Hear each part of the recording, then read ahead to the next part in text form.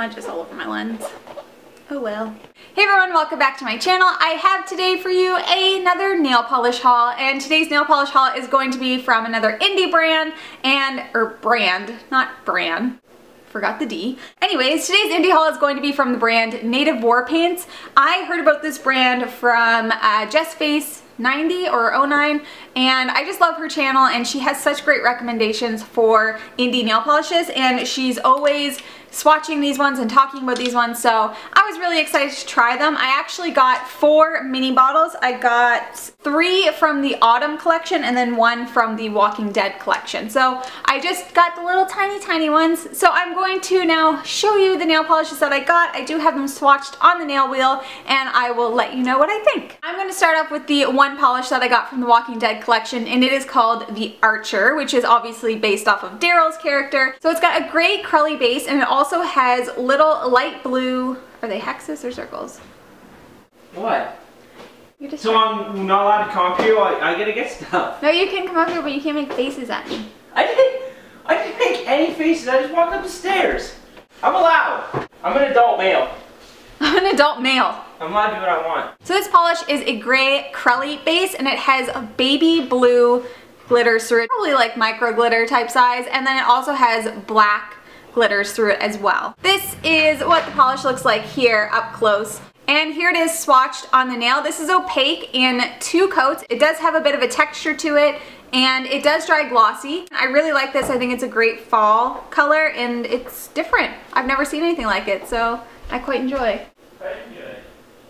I like it very much. The next polish I got is from the Autumn collection and this is called Under the Starry Sky and this is a black Crelly base and it has different gold and holographic glitters through it. So there are some hexes, there's some little squares, and there's also some circles, but they're all the same color. This is a really, really nice fall color. It reminds me kind of of Halloween. And it does, oh, I forgot to mention, it does have some larger circle glitters in it. I don't know if you really classified as a glitter, but it's very, very holographic and it kind of looks like a moon when it's on the nail. Unfortunately, I don't think I got any of the big ones on my swatch when I did it, but mm, that happens. So this is what the polish looks like up close and personal. It's very, very sparkly and there's actually a lot of glitter in it. It comes off on the nail really, really easily, so it's a lot easier to work with than you would think of for a glitter like this. And it's very shiny. This is opaque in I think I gave it two coats and I would definitely put a top coat on this as well. The next one I got is called Crisp Red Apples, another one from their fall collection, and this is a dark reddish burgundy color, and it has a holographic shimmer all throughout it, and it is a bit of a darker red burgundy so it doesn't it's not very bright. It's definitely a darker very fall appropriate color. So this is what it looks like here in the container. As you can see it's definitely a very like dark red but it does have a bit of that vibrance to it. This is it swatched on the nail right here. When you get this nail polish in the sun it's actually crazy how it looks. There's just so many holographic shimmers through it and it just looks really really nice on the nails. I was immediately attracted to this nail polish. It's just, it's so unique and I really, really like it. Now I saved my absolute favorite one for last. I made an order because of this polish. I thought it was so unique, it's so different. I haven't seen anything like it. It looks different in every single light that you have it in. In the sun, it looks different than it does indoors and it does like when it's slightly dim and all that. Oh my god. Anyways, and I love the name too. It's called My Favorite Sweater and this is kind of a teal blue nail polish but it has a gold shimmer through it, but it's like a goldish greeny shimmer and it's just, I don't know, the combination, the way it looks on the nails is outstanding. Like I was wearing this on my nails and I was like literally just staring at them because I love them. Like I love them so much. So big fan. This is what the polish looks like up close here and this is what it looks like swatched on the wheel. It does dry to be kind of like a semi matte and you can see the shimmer all through it, but it looks much darker here than it would in the sunlight where you're gonna get a lot more of that gold shimmer. I'm gonna insert a picture as well to show you what it looks like when there's a bit more bright light on it.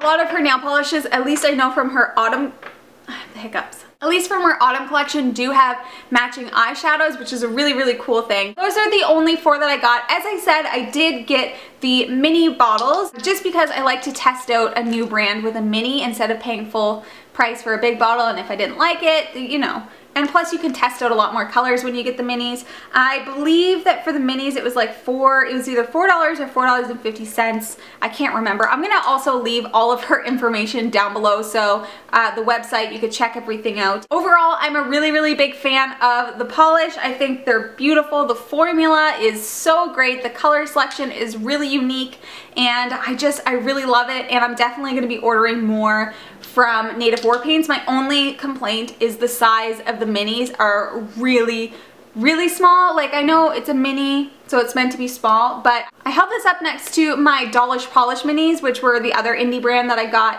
Um, I'll link that haul down below as well. And there was just a lot more polish in the Dollish Polish minis compared to these ones. I just think that they're really, really tiny, like super, super tiny. Anyways, that's pretty much what you get when you order a mini anyway, so I'm not actually complaining. I just think that next time that I get them, I'm gonna go for the full size now that I know that I love the formulas and everything. And it was really sweet because she wrote me like a personal note on my uh, orders order slip like hope you love the polish and all that stuff so I thought that was a really really nice touch I love it when companies add that little personal touch so I definitely highly highly recommend these if you guys are looking to get into more indie brands I'm now very into Native War Paints. I'm a big fan.